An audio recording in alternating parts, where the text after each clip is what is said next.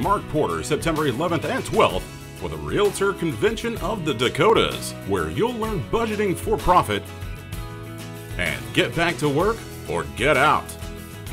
A lot of us are in this situation. I do a little bit of consulting with people, and I, you know, when we get down to it, it comes down to the net profit. Do you want to sell more real estate and make, if you're digging a hole, and you don't stop digging, you're just going to get deeper. It doesn't matter if you do more transactions, you're compounding your weaknesses. To run a successful real estate business, you have to fully understand how to manage your finances. This course will teach agents the key elements to earning a profit through effective budget management. In, in Mark's class today, I learned how to budget for next year, which I will definitely start. So less than half of that goes to, you get this in a gross amount and you get to take it home you're in poverty. Why are some agents loving the new market? And why are some running to the hills? Get back to work or get out is exactly what you need to get your business on track. The systems were so well refined that we kind of, this is how we ended up.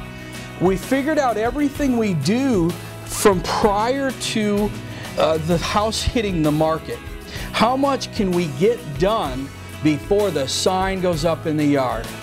Mark, I just I had to tell you this one thing that I really enjoyed about your class, and you do something that I have never seen another instructor do, and you may not even be aware that you really do it.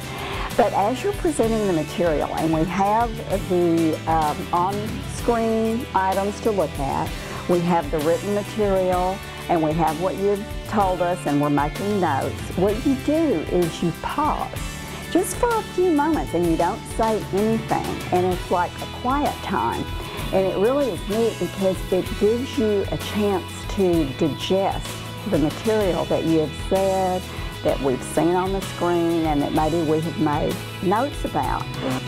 Thank you Mark for coming to Richardson for this class.